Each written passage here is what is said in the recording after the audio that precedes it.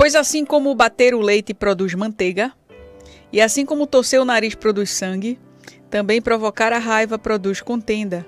Provérbios 30, 33. Palavra de sabedoria, cuidado com as provocações. Talvez você não tenha entendido nada do que eu li aqui. Mas eu faço questão de explicar para você, para você entender o que é que a palavra de Deus está querendo dizer a você.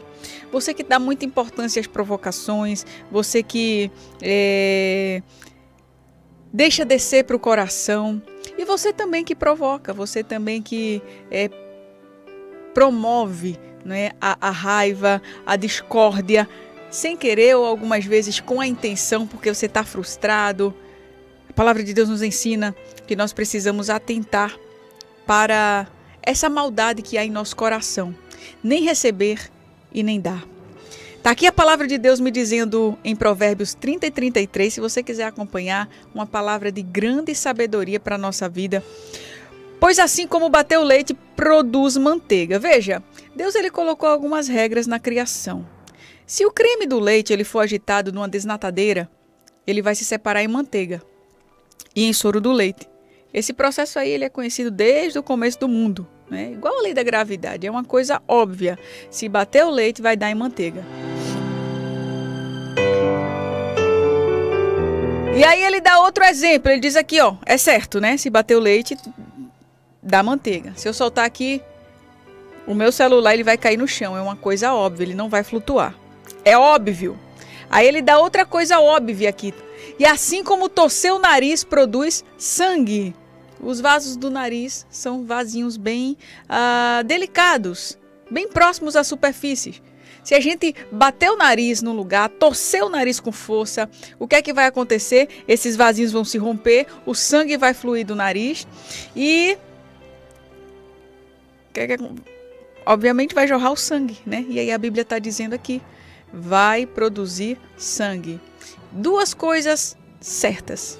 Aí agora ele dá a terceira coisa certa. Terceira coisa, provocar a raiva produz contenda. E aí eu aprendo que isso é certo. Se você é filho de Deus, você detesta a contenda. Mas muitas vezes você provoca raiva. Olhe para dentro de você. Cuidado com essas provocações vindas de você. Eu vou falar também das que vêm de fora para você. Mas eu quero crescer em Cristo, me tornar uma pessoa melhor. E para isso eu preciso entender que eu sou pecadora, que eu falho muito, que eu erro muito. E que tem dia que eu tô frustrada, tem dia que eu não tô bem, e eu fico querendo que as pessoas não fiquem bem também, você sabia? Perceba isso em você. Tô dizendo aqui. Conselho de amiga. Você tá com seu dia ruim, você não quer que o dia das pessoas fique bom também. Isso é inconsciente. Tem uma pessoa feliz, você quer destruir o dia dela. Sem querer, você faz isso, sabia? Provocando provocando. Aí você solta aquela farpinha, aquele venenozinho. A Bíblia diz que na nossa língua tem veneno mortal. E que um grande domador não pode domar uma língua. Só Jesus para ajudar a gente. Então preste atenção aqui ao que diz essa palavra. Se eu não refletir, se eu não olhar para dentro de mim, eu serei esse promovedor de discórdias por onde eu passar. É o seu marido que chega perto de você para falar alguma coisa e você, pá! Vem com aquela palavra. Vai machucar mesmo. Qual o objetivo daquilo que você falou? Por que você falou aquilo? Você teve cuidado no falar? É o seu patrão que chega para você para te pedir uma coisa, você tá mal e você vai lá e promove a contenda, provocando a raiva. Você acaba com o dia da outra pessoa porque você tá com o seu acabado. Assim como bater o leite produz manteiga e assim como torcer o nariz produz sangue, você vai produzir a contenda. Com a sua palavra, com a sua atitude, com o seu mau humor. Amado, amada, é normal todo mundo ficar com raiva. Mas os homens sábios, eles controlam a raiva. E ele nem ofende e ele também não se deixa ser ofendido. Isso é exercício. E você precisa ficar forte nisso. Vivemos numa geração muito fraca. A gente está contemplando homens fracos que não aguenta mais nada, que chora por tudo. O homem chora, chora, chora na presença de Deus, chora pela perda de um ente querido, chora. Mas o que a gente está vendo é uma geração de homem chorão, uma geração de homem mole, é uma geração de homem que perdeu seu papel de cabeça, de protetor. É o homem que não entende que ele tem que dar vida pela sua família se preciso for. É uns homens bestas, é uns homens que. Ah, tudo tá se acabando, tudo tá morrendo. É um sentimentalismo à flor da pele, meu Deus do céu. Os homens estão ficando afeminados. Eu não tô falando de homossexualidade, não, entenda.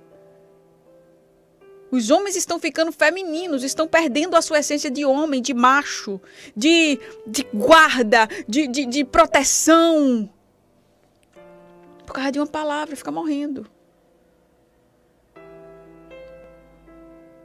E eu estou falando dos homens porque é um exemplo de, de, de, de estrutura, não é? De, é, de, de, guerreiro.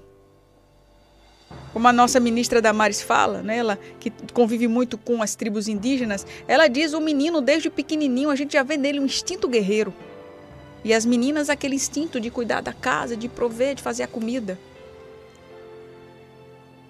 Mas no completo, numa totalidade, é isso que a gente está vendo uma geração mimimi, onde tudo dói, onde tudo machuca. Ah, não pode falar assim, tem que falar assim. Aí fica com medo de falar, porque vai machucar.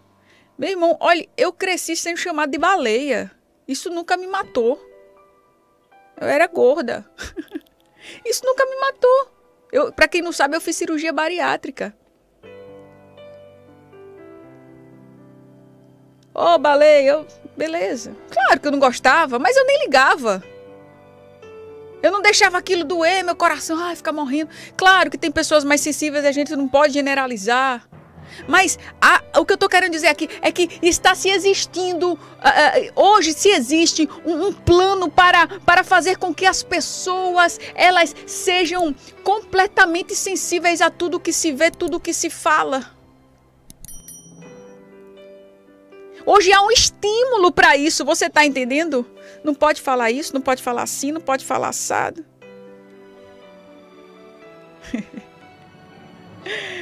Ai, Jesus. Tenha muito cuidado.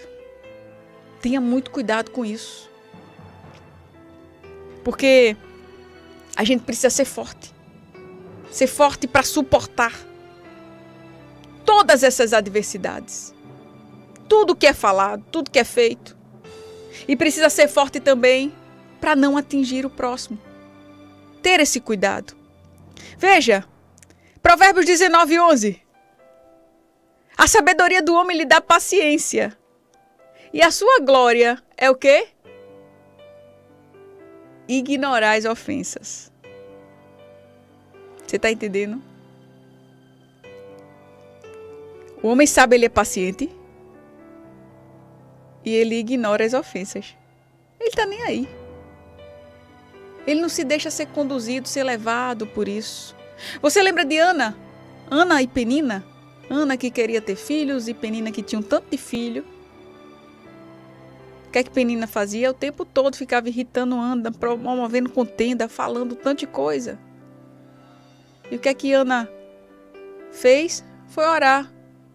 Ana aguentou um pouquinho e Ana, ela era amargurada, ela era uma mulher angustiada. Por quê? Porque ela era alvo de zombarias. Mas aí, Ana se lançou nos pés do Senhor e a gente vê o Senhor dando filhos a ela. E eu tenho certeza que Penina, a partir dali, calou a boca dela, não tinha mais o que falar de Ana. Então, amado, amada, a gente precisa entender que a gente sempre vai ser alvo de provocações. Isso gera brigas, gera contendas, gera discórdias. Mas você não pode deixar essa raiva lhe levar a pecar. Se livre dela. Governe seu espírito. Governe seu espírito. Eclesiastes 7, 9 nos diz que a raiva é a característica de um tolo. Um tolo ele vive com raiva o tempo todo. Então, querido, amada, amado do Senhor, você tem sido alvo de provocações? Primeiramente, você precisa entender que você tem que desprezar. Desprezar. Você não pode ser influenciado nessa geração a sofrer com tudo, a tudo te doer. Eu estou falando aqui de uma forma bem clara. E segundo, tenha muito cuidado também com as palavras que saem da sua boca, com o que você faz, para você também não ser um provocador, um produtor de contendas. Que Deus te abençoe, que Deus te ajude. Guarda essa palavra no teu coração e se tu uma bênção para a glória do nome do Senhor Jesus.